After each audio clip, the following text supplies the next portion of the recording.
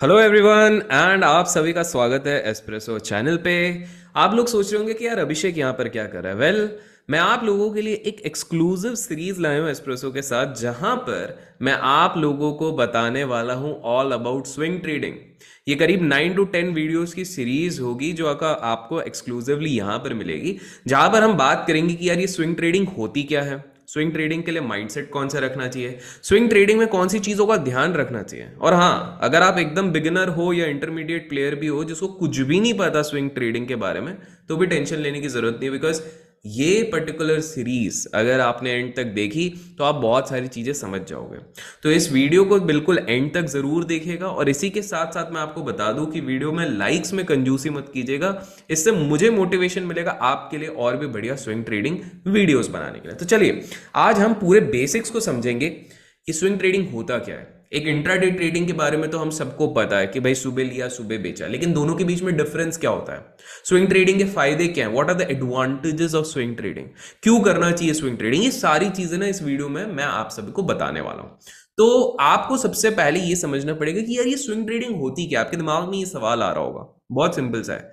जब भी आप तीन दिन से लेके दो हफ्तों तक किसी भी स्टॉक को, किसी भी इंडेक्स को या इवन फ्यूचर्स एंड ऑप्शंस को होल्ड करते हो तो उसको हम कहते हैं स्विंग ट्रेडिंग आइडियली ये डेरिवेटिव्स में नहीं कैश सेगमेंट में ज़्यादा किया जाता है एनएससी बीएससी पे बट हाँ कुछ लोग ऑप्शंस एंड फ्यूचर्स में भी जब कैरी फॉरवर्ड करते हैं उसको स्विंग ट्रेडिंग कहते हैं। अब स्विंग मतलब क्या होता है? आप देखिए स्विंग को एक सिंपल सा समझिए। हिंदी में स्विंग मतलब झूला। झूला किस तरह से? इस तरह से जाता है। मतलब the it keeps on swinging from left to right तो स्विंग ट्रेडिंग बेसिकली क्या होता है? एक बड़े स्विंग के लिए आप खेल रहे हो। अब ये आपको समझना है आप, आप बोलोगे कि ये तो इन्वेस्टिंग हो गई। इन्वेस्टिंग में भी तो हम पकड़ के बैठ जाते हैं। तो आपको ये समझना पड़ेगा कि टेक्निकल टर्म्स में अगर इन्वेस्टिंग की बात करें तो इन्वेस्टिंग वो होता है जब आप एटलीस्ट तीन सौ पैंसठ दिन three hundred and six days hold करते हैं या उससे ज़्यादा होल्ड करते हैं। अगर उसके नीचे करते तो टेक्निकल टर्म्स में उसको इन्वेस्टिंग नहीं कहते हैं। तो अगर आप कुछ हफ्तों के लिए भी होल्ड करते हो तो वो स्विंग आ जाता है। उसके बाद पोजिशनल ट्रेडिंग आता है और उसके बाद इन्वेस्टमेंट आता है। तो स्विंग ट्रेडिंग फास्टर होता है एज कंपेयर टू इन्वेस्टिंग और दूसरी चीज़ आपको ये समझनी है कि देखो इंट्राडे ट्रेडिंग में आप क्या करते हो? आप फाइव मिनट का कैंडल देखते हो वन मिनट का कैंडल देखते हो थ्री मिनट का कैंडल देखते हो टेन मिनट का कैंडल देखते हो फिफ्टीन मिनट का कैंडल देखते हो। वहीं पर आप स्विंग ट्रेडिंग में हमेशा हमेशा एक हायर टाइम फ्रेम पे ट्रेड करते हो, एक बड़े टाइम फ्रेम के लिए आप मॉनिटर करते हो कि किस तरह से। बड़े टाइम फ्रेम से आप बड़े स्विंग्स पकड़ते हो। इतना क्लियर हो गया? अब हम ये समझने की कोशिश करेंगे कि यार ये स्विंग ट्रेडिंग और इंट्राडे ट्रेडिंग के बीच में जो सबसे मेजर डिफरेंस है वो क्या है? What is the difference between swing trading as well as intraday trading तो आपको ये पहले समझना पड़ेगा। देखो स्विंग ट्रेडिंग क्या होता है कि स्विंग ट्रेडिंग में आपके रिवॉर्ड्स बड़े होते हैं। इंट्राडे ट्रेडिंग में आप आते हो 0.5 परसेंट का स्टॉक का मूव हो गया 1 परसेंट आ गया बिकॉज़ आप लेवरेज लेते हो। कैश में आप 5x तक का ले लेते हो एमटीएफ में 4x तक का ले लेते हो, या कोई दूसरी भी चीज़ अगर आप लेते हो तो उसमें आपको लेवरेज मिल जाती है। बट यहाँ पर क्या होता है कि आप लेवरेज नहीं लेते हो बट मोस्टली एक रिवॉर्ड बड़ा टारगेट करते हो कि at least five to ten percent का मेरे को स्विंग मिलेगा, तब जाके मैं निकलूँगा। तो बेसिकली इंट्राडे में अगर हंड्रेड रुपीज़ का स्टॉक है तो आप वन रुपी चेस कर रहे हो, लेकिन स्विंग ट्रेडिंग में उसी स्टॉक पे आप हंड्रेड एंड टेन तक का वेट करोगे टेन रुपीज़ चेस करोगे। दूसरा, स्विंग ट्रेडिंग ना बहुत ज़्यादा सुटेबल होता है for office goers even businessman even housewife जिनको ज़्यादा ना समय नहीं मिलता है स्क्रीन के सामने बैठने का। देखिए intraday trading by default will demand a lot of your time वो चाहेगा कि आप स्क्रीन के सामने बैठो मॉनिटर करो मार्केट कहाँ जा रहा है, कैसे जा रहा है, ये सारी चीज़ें आपको ध्यान में रखनी पड़ेंगी। लेकिन स्विंग ट्रेडिंग की अगर मैं बात करूँ दोस्तों तो स्विंग ट्रेडिंग में क्या होता है? आपके पास कंफर्ट है। आप दिन में अगर थर्टी मिनट्स भी एनालिसिस करो, बहुत सारे स्विंग ट्रेडर्स तो ऐसे जो वीक में मैक्स दो घंटे या एक घंटे का एनालिसिस करते अपना स्टॉक स्टॉक लेते हैं स्टॉप लॉस लगाते हैं टारगेट लगाते हैं और बढ़िया अपने काम पे लग जाते हैं। तो आपको समझना है एक ऑफ़िस गोअर जो ज़्यादा समय नहीं कर सकता। प्लस आपके रिस्क टेकिंग कैपेसिटी बहुत ज़्यादा नहीं। देखो इंट्राडे में ना रिस्क थोड़ा ज़्यादा लेना पड़ता है। तो आप रिस्क लेते हो उतना तो इसलिए आपको रिवॉर्ड मिलता है। लेकिन स्विंग ट्रेडिंग में आप कम रिस्क में बिकॉज़ होल्डिंग कैपेसिटी है ना टाइम आपका दोस्त है दोस्तों। मतलब you are not competing against time intraday में क्या होता है? नाइन से लेकर थ्री तक का गेम है पूरा। तो अगर इसी के बीच में आपने ट्रेड कर लिया तो ठीक है अदरवाइज़ आप स्टक हो जाते हो। तो आपको ये चीज़ समझनी पड़ेगी कि स्विंग ट्रेडिंग में टाइम आपका फ्रेंड है। बड़े लोगों की मैं अगर बात करूँ स्पेसिफिकली इंडिया में तो other than prop desk maximum बड़े लोग स्विंग ट्रेडिंग्स प्रेफर करते हैं। क्यों? देखिए, जब उनका कैपिटल बहुत ज़्यादा बड़ा हो जाता है तो they don't want to risk in सवा नौ से साढ़े तीन के बीच में ही हमारा पूरा गेम वहाँ पर जो पूरा ट्रेडिंग पोजीशन होगा, वो वहाँ पर उसी फेट पे डिपेंड करे। ऐसा क्यों इसको समझिए? देखिए, जब बहुत बड़ा कैपिटल बन जाता है, अब आप एक साथ तो fifty lakh one crore two crore तो नहीं लगाओगे। क्यों? बिकॉज़ आपने इंट्राडे का सेटअप देख लिया, सब कुछ देख लिया बट उसी दिन अचानक से कुछ पॉलिटिकल डिबेट हो गया, अचानक से एक वॉर की सिचुएशन आ गई। तो आप फंस सकते हो। लेकिन स्विंग में एक इंसान होल्ड कर सकता है। अगर उसको पता है ये पॉलिटिकल सिचुएशन टेम्पररी है, ये सिर्फ़ दो तीन दिन के लिए रहेगा, उसके बाद ये चल जाएगा तो आप आराम से वहाँ पर ट्रेडिंग पोजीशन ले सकते हो। एंड फाइनली आप गैप अप और गैप डाउन का फ़ायदा ले सकते हो। ऑब्वियसली आपके दिमाग में सवाल आ रहा होगा कि यार गैप अप और गैप डाउन का फ़ायदा कैसे लें? देखिए, आपने एक चीज़ नोटिस करी होगी कि इंट्राडे में काफ़ी सारे लोगों का क्या होता है कि अगर मार्केट आज खुला और खुलते ही गैप अप हो गया तो उसके बाद आपको ज़्यादा मौका नहीं मिलता है, बाय करें, सेल करें या क्या करें। लेकिन गैप अप, गैप डाउन का फ़ायदा आपको स्विंग में मिलता है। अगर आपने सही डायरेक्शन पकड़ लिया तो आप पैसा बना सकते हो। ऑब्वियसली आपके दिमाग में सवाल होगा कि यार, अगर हमने बाय किया और वो नीचे गिर गया तो क्या करें? तो डोंट वरी दोस्तों, उसके भी कुछ हैक्स इस सीरीज़ में आगे आने वाले हैं।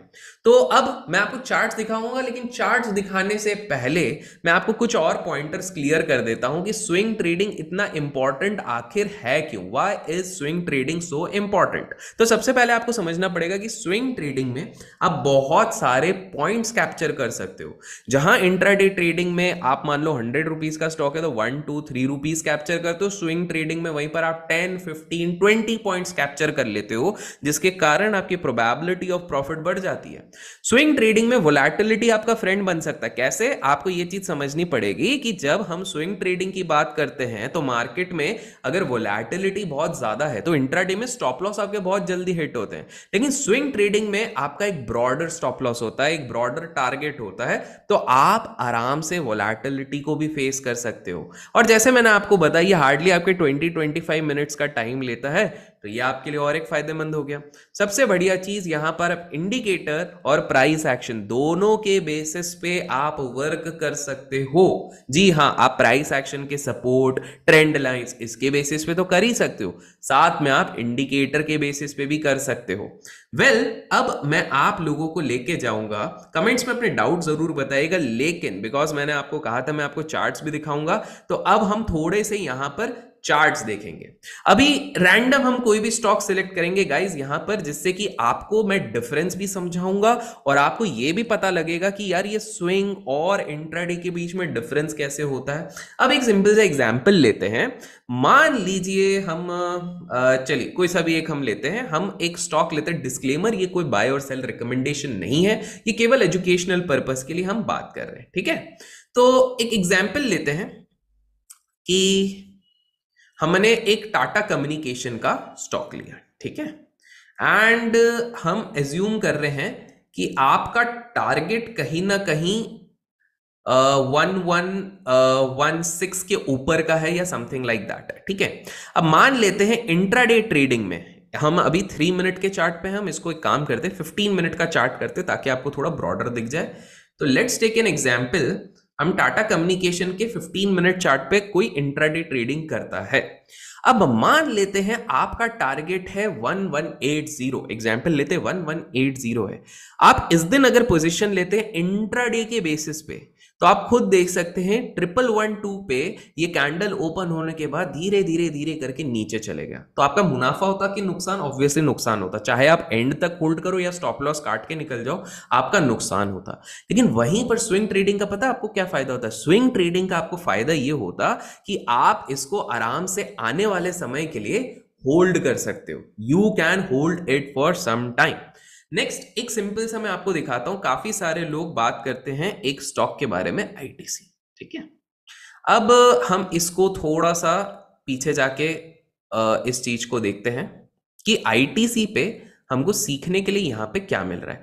आप लोगों को पता होगा कि आईटीसी एज अ स्टॉक काफ़ी टाइम से एक रेंज बाउंड बंधा हुआ था। ना लेट्स टेक एन एग्जांपल एक इंट्राडे ट्रेडर थर्टीन जून के आसपास डिसाइड करता है कि यार, मेरा टारगेट है थ्री हंड्रेड रुपीज़ के आसपास, मैं आईटीसी बाय करूँगा। मान लीजिए वो बाय करता है but end of the day उसे क्या हो जाता है? उसको हो जाता है नुकसान। 300 का टारगेट था बट दुर्भाग्यवश ये व्यक्ति फंस जाता है। लेकिन वही व्यक्ति अगर स्विंग ट्रेड करता है तो स्विंग ट्रेड में हमने क्या बात करी थी? हम हायर टाइम फ्रेम्स की बात करेंगे तो वो हायर टाइम फ्रेम्स पे जब जाता है तो आप खुद देख सकते हो उसके 300 का टारगेट आराम से अचीव हो जाता है। क्यों? फ़र्स्ट टाइम का एडवांटेज मिल गया उसको। सेकेंड एडवांटेज क्या मिल गया कि he has the holding capacity third अगर उसको दिखता है, जैसे काफ़ी सारी चीज़ें हायर हाई हायर लोज का पैटर्न होता है. इंडिकेटर बेस भी देख सकते हैं ट्रेंड लाइन बेस भी देख सकते हैं जिसके बारे में मैं इस वीडियो में आगे आपको आने वाले सीरीज़ में बताने वाला हूँ, आगे के वीडियोज़ में. लेकिन ये चीज़ आप देख के समझ सकते हो. तो स्विंग में आप देख रहे हो, कभी भी स्ट्रेट लाइन में कुछ नहीं जाता. ये गया, यहाँ पे थोड़ा सा पॉज लिया, उसके बाद थोड़ा सा नीचे आया, थोड़ा यहाँ कंसोलिडेट किया, फिर ऊपर गया, थोड़ा कंसोलिडेट किया, फिर ऊपर गया. नाउ जस्ट इमेजिन अगर आप एक ऑफ़िस गोअर हो, आप आराम से अगर इधर भी एंटर करते हो तो आपके पास होल्डिंग कैपेसिटी है। आप इधर भी एंटर करते हो तो होल्डिंग कैपेसिटी है। आप इधर भी होल्ड करते हो तो होल्डिंग कैपेसिटी है। मान लो आप दिसंबर में भी एंटर होते हो बट आप एक पोजिशनली स्विंग प्लेयर हो, जो कुछ वीक से कुछ मंथ्स तक होल्ड कर सकता है तो भी आप पैसे कमा सकते हैं। लेकिन एज एन इंट्राडे ट्रेडर आपको नुकसान हो सकता था।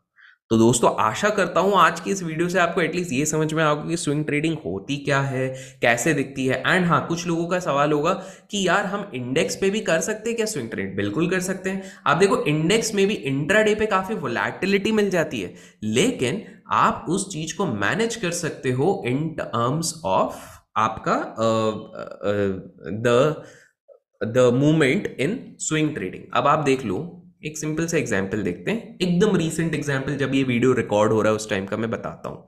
मान लीजिए आप इंट्राडे ट्रेडिंग कर रहे हैं, ठीक है?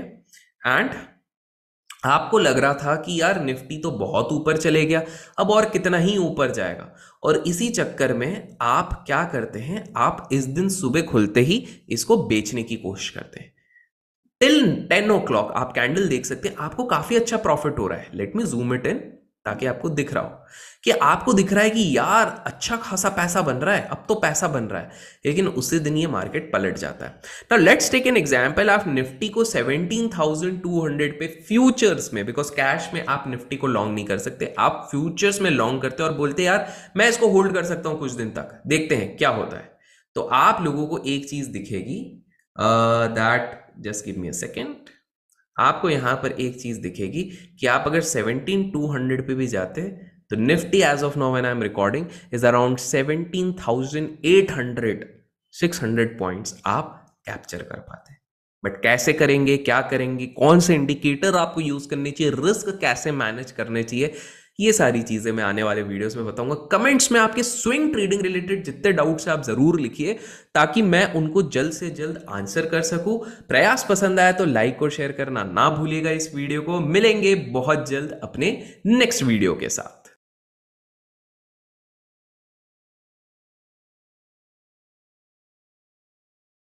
सिक्योरिटीज मार्केट में निवेश, बाज़ार जोखिमों की आधीन है। स्कीम से संबंधित सभी दस्तावेजों को ध्यान से पढ़ें।